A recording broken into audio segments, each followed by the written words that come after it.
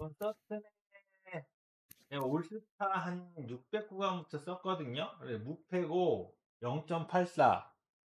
그 다음에 1이닝당 0.4명만 나가고, 삼진은 한 1.3개죠? 예, 방어율. 이게 왜 그러냐면,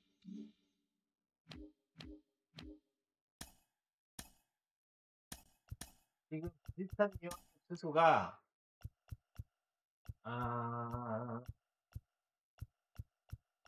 웨인라이트. 웨인라이트가 마름보다 비싸거든요?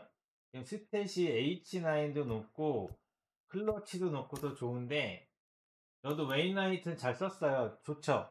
근데 웨인라이트는 한 600점대 후반, 700 초반대 두 번 연속 털려서 제가 팔았어요. 그 이유는 구속이 너무 적어요.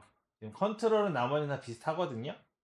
근데 이제 공은 웨인라이트도 들어온데 싱커 구속이 너무 안 나요. 제가 선호하는 싱커가 원래 아직 허샤이저가 안 나왔지만 허샤이저 싱커 구속이 한 94, 95, 93 그 정도거든요.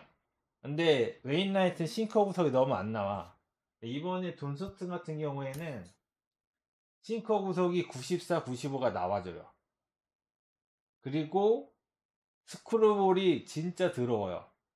그리고 나머지 다 컨트롤도 훌륭하고 브레이크도 좋고 그래서 근데 단점은 빠따 잘 치는 사람한테는 게임이 안 되고 고인물한테는 이게 싸이형과 같이 떨공을 버리고 아까 걔도 이제 직구를 노렸는데 패스트볼로 노리면 되는데 그게 마음처럼 쉽진 않아요. 그래서 제 스무 공신이죠.